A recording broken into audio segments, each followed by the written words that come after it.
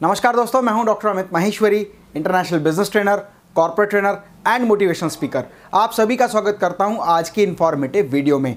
Friends आज हम बात करेंगे कि इंपोर्ट एक्सपोर्ट अगर आप करना चाहते हैं तो क्या क्या डॉक्यूमेंटेशन प्रोसेस एंड सिस्टम होता है इंपोर्ट एक्सपोर्ट बिज़नेस करने के लिए। तो यहाँ पर हम डॉक्यूमेंट्स को तीन कैटेगरी में डिवाइड करेंगे। Number one one time documents मतलब कौन कौन से ऐसे डॉक्यूमेंट्स हैं जिनको आपको एक ही बार तैयार करना है? उसके बाद repeated documents for every shipment her shipment के लिए आपको कौन से डॉक्यूमेंट्स तैयार करने होते हैं? And third category of documents that is certification licensing permissions and supportive documents for import and export import export करने के लिए सबसे पहले जो आपको रिक्वायर्ड है, वो आपकी एक फर्म होनी चाहिए, चाहे वो आपकी सोल प्रोप्राइटरशिप हो पार्टनरशिप हो प्राइवेट लिमिटेड कंपनी हो ओपीसी हो, एक फर्म आपकी होनी चाहिए। फर्म रजिस्ट्रेशन के बाद जो दूसरा इंपॉर्टेंट डॉक्यूमेंट है, वो है जीएसटी नंबर आपके पास जीएसटी नंबर होना चाहिए। साथ ही साथ आपका बैंक में एक करंट अकाउंट होना चाहिए और ध्यान रखिए, जो बैंक है, वो एग्जिम बैंक होना चाहिए। मतलब ऐसा बैंक होना चाहिए, जहाँ फॉरेन ट्रेड की ट्रांजैक्शंस होती हों। आप अपने बैंक से पूछ सकती हैं कि क्या हमारा बैंक एग्जिम है? मतलब जो आपकी ट्रांजैक्शन है वो उस बैंक में होती हैं, क्या वो डायरेक्ट पेमेंट रिमिटेंस आपको भेजता है? तो ये बड़ा इंपॉर्टेंट है। उसके बाद जो तीसरा इंपॉर्टेंट डॉक्यूमेंट है वो आईईसी इंपोर्ट एक्सपोर्ट कोड जिसको इंपोर्ट एक्सपोर्ट लाइसेंस भी कहते हैं। और इंपोर्ट एक्सपोर्ट लाइसेंस लेने के लिए आप डीजीएफटी की साइट पर जाकर आप अपने डॉक्यूमेंट सबमिट करके इंपोर्ट एक्सपोर्ट लाइसेंस ले सकते हैं। डीजीएफटी मतलब director general of foreign trade DGFT की साइट पर जाकर आप अपने डॉक्यूमेंट्स को अपलोड करके इंपोर्ट एक्सपोर्ट कोड ले सकते हैं। इसमें आपके बेसिक डॉक्यूमेंट लगते हैं, जैसे आपके फार्म का रजिस्ट्रेशन सर्टिफिकेट चाहे वो आपकी प्रॉपराइटरशिप हो प्राइवेट लिमिटेड हो, या वन पर्सन कंपनी हो ओपीसी हो, या जिस भी तरह की आपकी कंपनी है, उसके डॉक्यूमेंट्स और साथ ही साथ आपका आधार कार्ड पैन कार्ड। अगर आपकी सोल प्रॉपर्टरशिप के अलावा किसी तरह की फर्म है तो उसका पैन नंबर भी अनिवार्य होगा और एक एड्रेस प्रूफ यहाँ पर होना अनिवार्य है। ये सारे डॉक्यूमेंट आप डीजीएफटी के साइट पर अपलोड करेंगे और डीजीएफटी की साइट को देखने के लिए आप डिस्क्रिप्शन बॉक्स में जा सकते हैं। वहाँ पर मैंने लिंक दिया हुआ है। वहाँ क्लिक करके आप डीजीएफटी की साइट पर जाकर अपना इम्पोर्ट एक्सपोर्ट कोड आसानी से ले सकते हैं। And the fourth that is C certificate registration का मेंबरशिप सर्टिफिकेट ये भी आपको लेना अनिवार्य है, क्योंकि गवर्नमेंट ऑफ़ इंडिया ने फॉरेन ट्रेड के लिए इम्पोर्ट एक्सपोर्ट की बहुत सारी प्रमोशन काउंसिल बनाई हुई हैं। आपको ये देखना है कि आप किस तरह के प्रोडक्ट में डील करते हैं। जैसे आप गारमेंट में करते हैं तो उसके लिए एक अलग import export promotional council of India है।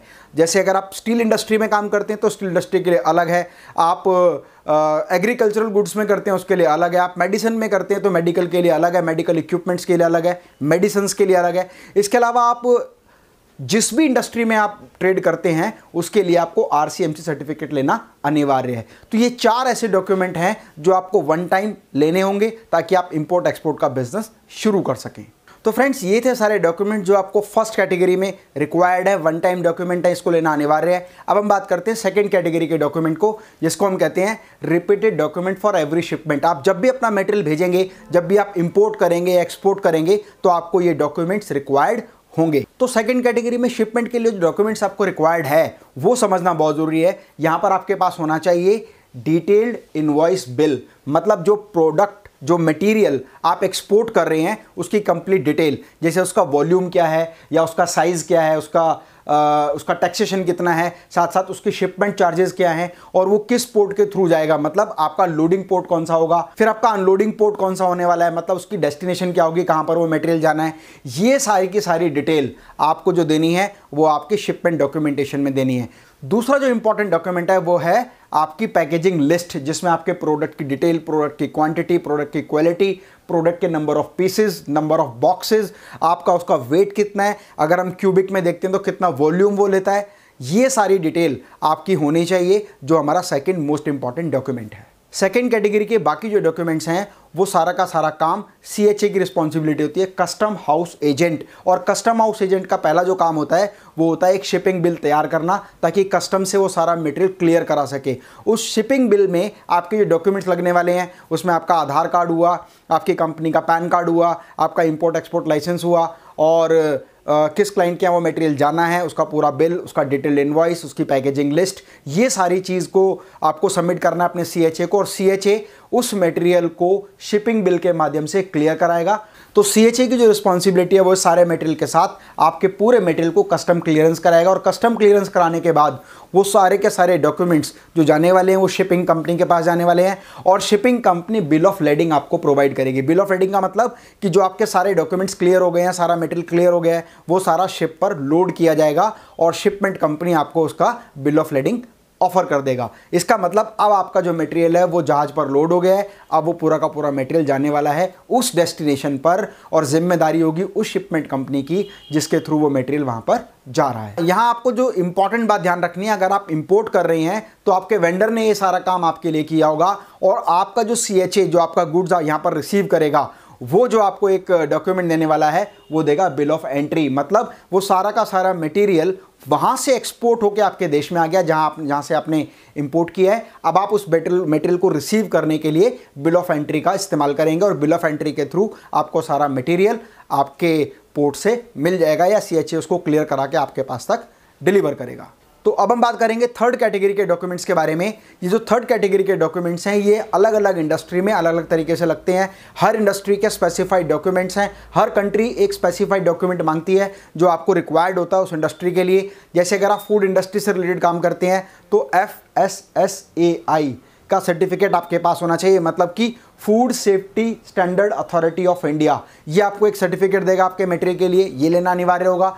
दूसरा क्या है? जैसे अगर आप ड्रग्स बनाते हैं या medicine medical industry medicine industry में काम करते हैं तो आपको FDA food and drug license लेना अनिवार्य होगा। इसी तरह से हर एक इंडस्ट्री में एक सर्टिफाइड एक रिक्वायर्ड डॉक्यूमेंट होता है जैसे बहुत सारी इंडस्ट्री में आईएसओ इंटरनेशनल स्टैंडर्ड ऑर्गेनाइजेशन का सर्टिफिकेट मांगते हैं। कई इंडस्ट्री में आईएसआई मार्का मांगते हैं तो ये आपको डिपेंड करता है कि आप किस इंडस्ट्री में काम कर रहे हैं। तो उस इंडस्ट्री की रिक्वायरमेंट और उस कंट्री की रिक्वायरमेंट के अकॉर्डिंग आपको अपने डॉक्यूमेंट्स और सर्टिफिकेशंस और लाइसेंसिंग लेने होंगे। फ्रेंड्स इसके साथ साथ कुछ ऐसे और डॉक्यूमेंट्स हैं जो लगते हैं, जैसे जब आप मटेरियल को भेजते हैं एक्सपोर्ट करते हैं तो रास्ते में कोई नुकसान भी हो सकता है। इसीलिए आप उस प्रोडक्ट का इंश्योरेंस कराते हैं।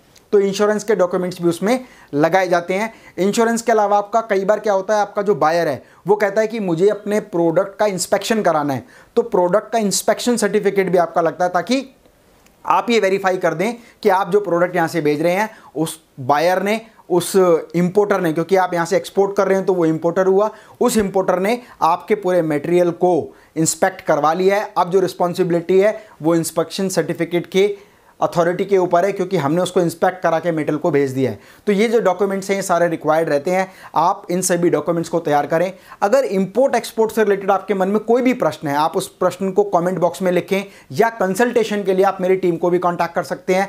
वहाँ आपको इम्पोर्ट एक्सपोर्ट की पूरी सपोर्ट मिलने वाली है, और आप मुझसे बात भी उस बारे में कर सकते हैं। वो आप बता देंगे क्या प्रोसीजर होगा उसका। फ्रेंड्स इंपोर्ट एक्सपोर्ट जो विदेश व्यापार है, वो सबसे ज़्यादा सिस्टमेटिक प्रोसेस पर काम करता है, क्योंकि आपके देश के कानून दूसरे देश में नहीं चलते और दूसरे देश के कानून हमारे देश में नहीं चलते। इसीलिए दो देशों के बीच में ट्रेड एग्रीमेंट होता है और उस ट्रेड एग्रीमेंट के अंतर्गत ही व्यापार किया जाता है। इसीलिए ये एक सिस्टमेटिक प्रोसेस है। अब नेक्स्ट वीडियो में हम बात करेंगे कि इंपोर्ट एक्सपोर्ट अगर आप करते हैं तो किस तरह से एडवांस पेमेंट लें या ऐसे क्या क्या प्रिकॉशंस को हम लोग फॉलो करें कि हमारा कोई भी पेमेंट डूबे नहीं, क्योंकि इंपोर्ट एक्सपोर्ट में अगर एक बार आपने इंपोर्ट एक्सपोर्ट करना शुरू किया तो धीरे धीरे धीरे आपका वॉल्यूम बढ़ता जाएगा और आप विदेश व्यापार में एक्सपर्ट होते जाएँगे। लेकिन यह ये बात ज़रूर ध्यान रखना है कि इंपोर्ट एक्सपोर्ट करते समय हम ऐसे कौन कौन से प्रोसेस को फॉलो करें, ताकि हम इंपोर्ट एक्सपोर्ट में कभी भी लॉस ना खाएँ और ना ही पैसा हमारा कभी डूबे। तो मिलते हैं अगले वीडियो में। कोई भी इंफॉर्मेटिव वीडियो मिस ना हो, उसके लिए चैनल को सब्सक्राइब करें और कमेंट बॉक्स में लिखकर मुझे ज़रूर बताएँ कि आज का ये वीडियो आपको कैसा लगा, किस विषय पर आप वीडियो देखना चाहते हैं, समझना चाहते हैं, उसके बारे में मुझे ज़रूर बताएँ। स्वस्थ रहें, मस्त रहें। मैं डॉक्टर अमित माहेश्वरी, आपके सुनहरे भविष्य की कामना करता हूँ। जय हिंद, जय भारत।